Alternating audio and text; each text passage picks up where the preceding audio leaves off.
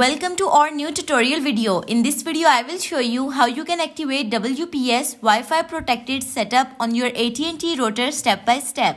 To begin, locate your AT&T router. Next, find the WPS button on your router. It's usually labeled WPS and may be located on the front or side of the device.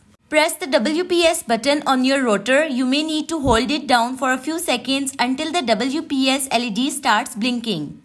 Now within 2 minutes, go to your Wi-Fi device such as laptop or smartphone and enable WPS in its settings. Wait for your Wi-Fi device to establish a connection with the router. Once connected, the WPS LED on your router should stop blinking and become solid.